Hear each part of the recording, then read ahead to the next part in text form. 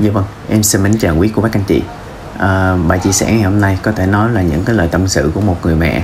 Người mẹ này thì đã đầu tư cho con của mình Với một cái số tiền cũng gọi là tương đối là lớn quý vị. Để làm chi à? Để mà cho con của họ có thể được đi du học tại Mỹ. Và cái mong muốn sau khi mà con của họ đi về Việt Nam đó Thì con của họ sẽ được đi làm với cái mức lương cao hơn Cũng là cỡ khoảng à, 200 triệu gì đó quý vị. Thì theo như cái sự kỳ vọng của người mẹ là như vậy. Tuy nhiên thì cái sự kỳ vọng của người mẹ này có trở thành hiện thực hay không? Cũng như là cái người cha, người mẹ này thì đã đầu tư cái số tiền lớn cho con của mình. Với cái số tiền là bao nhiêu? Thì em xin mời tất cả quý cô bác, anh chị mình, chúng ta cùng lắng nghe qua toàn bộ cái nội dung câu chuyện đã được người mẹ kể lại là như thế này. Tôi tên là Ngô Thị Mai. Vì tương lai của con trai tôi tôi đã bán cái căn nhà của mình ở quận 5 Sài Gòn với giá là 22 tỷ đồng vào năm à, 2015 và cùng con trai của tôi đi du học và cho đến khoảng à, cũng đã 7 năm trôi qua. Nghĩ lại cái ngôi nhà mà tôi đã bán, thì hồi đó tôi mới cảm thấy tiếc vô cùng. Vốn là một nhân viên công chức, thu nhập thì cũng ổn định và cũng có tiết kiệm một cái số tiền. Cho nên là vào năm 2018 tôi đã bắt đầu quyết định là sẽ mua một cái căn nhà sau khi mà tôi có ý tưởng này. Thì chồng của tôi không ngờ là cả hai lại ăn, cũng đồng ý và cả hai ăn ý với nhau và quyết định là cả hai thì mua nhà ngay vào cái thời điểm đó thì chúng tôi mua được cái căn nhà rộng 226 mét vuông. Với giá thì chỉ khoảng à, 6 tỷ đồng thôi. Và cũng muốn nói thêm sở dĩ là cái căn nhà này chủ người ta muốn bán. Với cái mức giá như vậy là do họ làm ăn. Trong cái chuyện làm ăn họ gặp một cái sự khó khăn. Nếu không thì họ cũng thực sự không có muốn bán cái ngôi nhà này đâu. Được bảo thì à, giá này là rất là tốt. Ngôi nhà sang trọng, nhà to như vậy, giá rẻ. Vợ chồng của tôi đã đặt cọc và ký ngay sau khi mà mua nhà thì gia đình của tôi mới chuyển đến cái nhà mới. Cái khoảnh khắc đó khiến cho tôi cảm thấy vô cùng rất là vui. Tôi cảm thấy hạnh phúc và cảm thấy cả thế giới này dường như là của chính tôi. Tôi chưa có bao giờ nghĩ rằng mình có thể mua một cái căn nhà lớn như vậy ở đất Sài Gòn. Sau này khi mà ổn định nhà cửa thì mọi suy nghĩ của tôi đều dồn hết vào cái việc học hành của con trai tôi. Bởi cái thời điểm đó tôi đặc biệt trả giá rất là cao để mà thuê cái người gia sư để kèm cặp cho con trai của tôi trong việc học tôi nghĩ là cái giấc mơ của tôi trong cuộc đời này là để cho con tôi nhận, được nhận vào à, đại học top 1 để mà sau này cháu nó cũng có một cái tương lai tốt đẹp hơn. Tuy nhiên khi mà học trung học thì con trai của tôi do là không học giỏi các môn khác, ngoại trừ môn tiếng Anh. Bởi vậy mà sau cái kỳ thi à, tuyển sinh đại học năm 2015 điểm số của con trai tôi không đủ để mà đậu vào cái trường top 1 mà chỉ đậu vào à, cái trường top 2 mà thôi. Lúc ấy thì tôi nghĩ rằng trường top 2 rồi khi mà ra trường đó thì chỉ lãng phí cái thời gian thôi, chứ cũng không có một chút gì cạnh tranh nào cả. Lúc này thì ờ, có một cái cô đồng nghiệp mới chợt nhảy ra một ý kiến ý kiến là cho tôi là ý kiến như thế này. Nếu mà tôi khuyên con của tôi ôn thi cái bằng tiếng Anh quốc tế đó, cho tới khi mà cháu nó được cái chứng chỉ thì nó cũng có thể đi vô học Mỹ, đi du học Mỹ. Thì lúc này thì cũng có thể tôi đầu tư cho con để mà đi du học Mỹ, được rồi. Sau này thì tôi đi về Sài Gòn, đại khái là có cái bạn ở nước ngoài đi về thì cũng tìm việc cũng dễ hơn. Khi mà con tôi tốt nghiệp ở bên đó về Việt Nam thì cũng tìm việc dễ hơn với mức lương thì nó cũng cao hơn là ở đây cao hơn là so với học ở đây. Lúc mà tôi nghe cái ý tưởng này thì tôi cũng nghĩ đó là một ý tưởng khá hay cũng rất là hay cho tới khi mà tôi tham khảo thực tế. Nếu mà bây giờ muốn sang à, Mỹ du học thì tôi cần bỏ nhất là 6,6 tỷ đồng mà vợ chồng tôi thì không có đủ tiền muốn đi thì bắt buộc vợ chồng tôi phải bán cái căn nhà ở quận 5 thì mới có thể cho con tôi à, đi du học được thôi. Tuy nhiên thì à, tôi rất vui mừng khi mà sau này hỏi ra thì mới biết căn nhà 226 mét vuông của tôi thì có thể bán được với cái giá khoảng 22 tỷ đồng theo cái giá của thị trường. Tức là cái ngôi nhà này thì nó đã tăng gấp 3 lần so với cái lúc mà tôi mua. Thì với cái số tiền này chắc chắn là sẽ đủ cái chi phí sinh hoạt của con trai tôi ở Mỹ trong suốt 4 năm tới, vì vậy thì tôi đã nói với chồng của tôi những gì mà tôi đã nghĩ. Nhưng chồng tôi nghe thì lại xong kiên quyết là không đồng ý và nói như thế này. Thực tế thì mình ở trong nước đó, đại học thì cũng tốt, trường đại học top 2 thì cũng được. Cũng không có gì sai, cái trình độ học vấn là một cái phương diện khác quan trọng là con mình. Sau này cái năng lực ở trong xã hội của nó thì nó sẽ làm như, có tốt thôi nếu mà những gia đình nào mà giàu có thì người ta đi sang Mỹ, thực ra thì cũng không có gì sai. Nhưng mà chúng ta thì chúng ta không có tiền, mình chỉ có tài sản duy nhất là cái căn nhà này thôi. Không có một tài sản nào khác. Thêm, nếu mà bây giờ bán cái căn nhà này rồi, thì sau này chúng ta sống ở đâu, mình phải làm cái gì? Rồi mai này con của mình kết hôn nè, nghe xong thì tôi mới phản bác là ông chồng của tôi rằng ông quá cổ hủ ông chỉ biết lợi ích trước mắt mà không biết tính cho một cái sự lâu dài của con trai, thì của ông. Nếu mà được đi du học thì cho tới sau khi mà nó trở về Việt Nam, nó quay trở về, thì với cái mức lương hàng năm của nó thì cũng lanh quanh cả trăm triệu một năm thì cũng hơn vài tỷ rồi. Vậy thì không lẽ mà cái mức lương của con mình nó không đủ mua nhà được hay sao? Ông suy nghĩ cho kỹ. Và cuối cùng thì tôi không có chịu nghe cái lời khuyên của chồng tôi. Tôi nhất quyết đòi bán cái căn nhà trên thị trường thì bất động sản lúc đó thì cũng rất là tốt. Sau khi mà giao bán căn nhà chưa đầy được 2 tháng thì tôi đã bán với mức giá là 22 tỷ đồng. Khi mà mọi thứ đã sẵn sàng thì con trai tôi đột nhiên mới nói với tôi là như thế này, mẹ ơi, con cũng cảm thấy hơi sợ, thì mẹ đi với con nha. Thì cái thằng bé này vốn dĩ nó cũng được tôi nuôi nấng từ nhỏ, thì tôi cũng sợ cháu là không thích nghi được với cuộc sống bên Mỹ một mình. Bởi vậy là cái việc học hành của con, tôi mới dốc hết sức.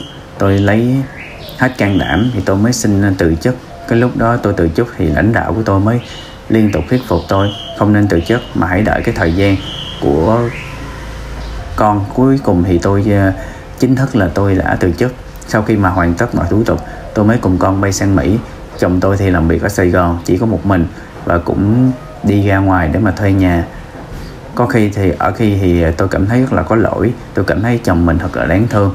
Tôi bỏ anh ấy lại Sài Gòn một mình tôi mới lái xe đưa anh ấy đến một cái căn nhà cho thuê. Tôi hứa hẹn là sau khi mà tôi và con trai tôi quay trở về Việt Nam, tôi sẽ mua một cái, cho anh một cái căn nhà biệt thự thật là lớn hơn, để mà anh có thể tận hưởng một cái cuộc sống trọng mỹ nhất.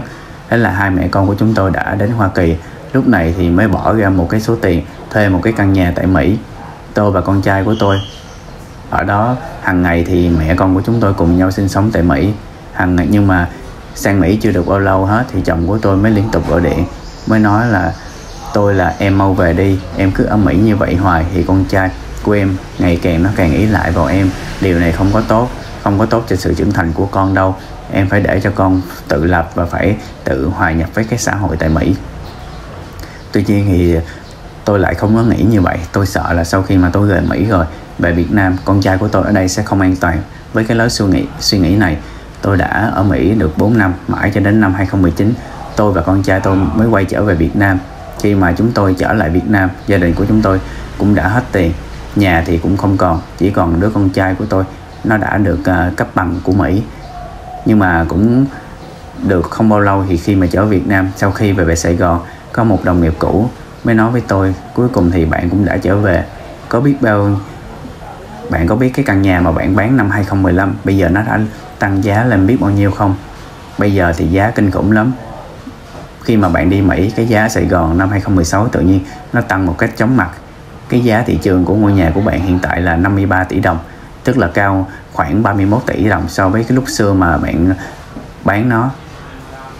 Thì à, nghe xong thì tôi vô cùng sốc và tim tôi lúc này cũng đập nhanh hơn và tôi không chấp nhận được. Tôi cảm thấy cái trong suốt 4 năm qua mình đã mất 31 tỷ đồng một cách vô ích trong vòng mà ngày đó tâm trạng của tôi không thể bình tĩnh lại được. Chồng của tôi thì may mắn tôi, nếu ngày xưa không đi Mỹ, gia đình của mình 4 năm qua đã kiếm được 31 tỷ rồi.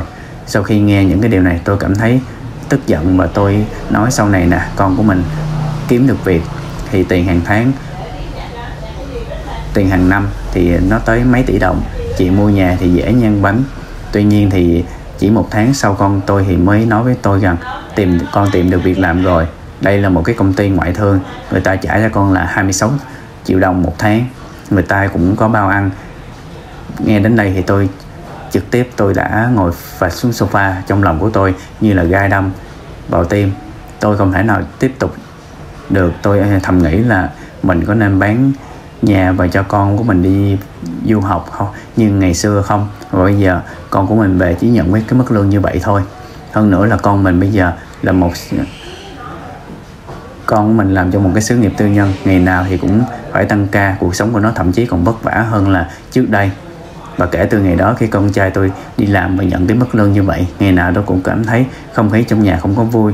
Tôi đã tự kiểm điểm lại bản thân, có phải lúc xưa thật sự là tôi đã quá sai lầm hay không? Với mức lương hiện tại của con trai tôi, cho đến cái việc mà nó kiếm được cái ngôi nhà, lại cái ngôi nhà ban đầu, ngay cả bây giờ, một cái cũng là kiếm được một cái người vợ trong tương lai cũng là cái vấn đề rất là khó khăn vì bây giờ không còn có tiền mặt để mà đặt cọc nhà. Cho nên là chúng tôi bây giờ chỉ là những công nhân tại một công ty xí nghiệp nào đó thôi. Tôi đã tự an ủi bản thân rằng con trai của tôi sau này chắc chắn nó sẽ thành công trong tương lai. Và kể từ khi trở lại Sài Gòn vào năm 2019 để mà thay đổi cái tình hình tài chính gia đình của tôi cũng đã tìm được cái công việc. Nhưng mà trong công ty những cái người khác thì lại cho rằng tôi quá già và không có được à, lòng mọi người. Sếp thì cũng rất là khó tính. Lúc ấy anh nói nói rằng, làm không tốt thì à, muốn nghỉ thì nghỉ. Nghe xong câu này tôi không kìm được và chạy vào nhà vệ sinh và lén lén khóc. Thì trong lúc này thì tôi mới thật sự hối hận và tôi đã rời đi cái cái công việc cũ và quyết định sang Mỹ. Nếu như ngày xưa mình không từ chức, còn làm trong cơ quan cũ thì công việc rất là vui vẻ và không cần phải nhìn mặt người khác để mà làm việc như vậy.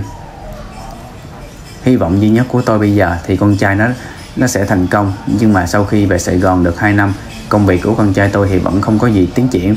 Công ty thì cũng trả lương như vậy. Thì con trai tôi làm khoảng, bây giờ thì được khoảng à, tăng hơn một tí là khoảng 33 triệu đồng. Bây giờ thì con trai của tôi đã 26 tuổi, không có bạn gái. Mỗi lần mà tôi thủ thủy với con trai thì con cần phải can đảm để mà lập gia đình sớm, nhưng mà con trai của tôi đều không có thích. Vì con không có nhà, không có xe hơi, con không có tiền. Nếu như ngày xưa mình có cái ngôi nhà thì ờ, tốt biết mấy. Phải không mẹ? Khi mà nghe cái điều này, tôi một lần nữa cảm thấy khó chịu hơn. Những gì mà con trai của tôi quyết, đã, nó đã nói làm cho tôi lại nhớ đến cái quyết định sai lầm, và tôi cũng rất hối hận. Bây giờ thì tôi đã quá già, có thể giúp đỡ con trai của mình và và nó sẽ còn phải dựa vào chính mình ở trong tương lai nữa. Và gần đây thì khi mà tôi biết được cái giá của căn nhà của tôi bây giờ đã lên 65 tỷ đồng, xem xong cái mức giá này, tôi như người mất hồn, tôi mất ăn, mất ngủ trong vòng mấy ngày, tôi cảm thấy sự quyết định bán đi căn nhà đó là một quyết định rất là sai lầm, ân hận cả đời của tôi. Và quý cô bác anh chị mình đã vừa nghe xong qua một cái bài lời tâm sự của một người mẹ đã đầu tư cho con của mình với cái số tiền rất là lớn quý vị. Bán nhà để mà đầu tư, để mà được đi du học cùng với con của mình trong vòng 4 năm. Quay trở lại thì nhận lại một kết cục như vậy. Thì quý vị nghe xong, có nhận xét hay đánh giá nào về cái bình luận này? Có thể bình luận ở dưới để mọi người được biết thêm. Cũng như quý cô bác anh chị mình, thấy video này ý nghĩa thì cho em xin một lượt đăng ký kênh, một lượt like và chia sẻ. Em xin cảm ơn quý vị rất là nhiều.